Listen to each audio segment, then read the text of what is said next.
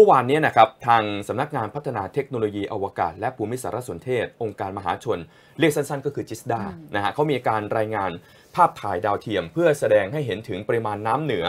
ที่ค่อยๆ ทยอยไหลลงสู่พื้นที่ภาคกลาง แล้วก็น้ำบางส่วนค่ะที่กระจายไหลเข้าไปท่วมในพื้นที่ภาคอีสานนะฮะหลักๆแล้วนะครับน้ำที่มาจากทางตอนบนของประเทศเนยนะครับ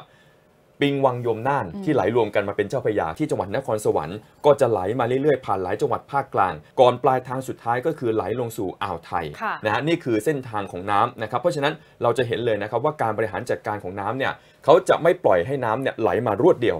นะฮะคือก็จะต้องมีการกระจายไหลไปตามพื้นที่ต่างๆ โดยเฉพาะทุ่งรับน้ำเพื่อเป็นการบรรเทาภาระค่ะไม่อย่างนั้นนะครับถ้าน้ำไหลมาพรวดเดียว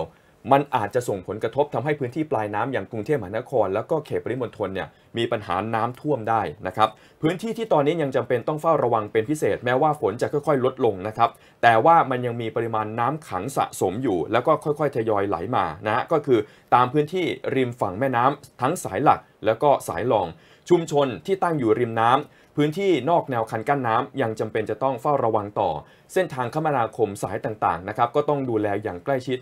ทีนี้ข้อมูลจากทางจิสดาเนี่ยเขาจะส่งประสานไปที่หน่วยงานในการดูแลบริหารจัดการน้ำตามภารกิจ เพื่อใช้วางแผนแล้วก็ประเมินผลกระทบกันต่อ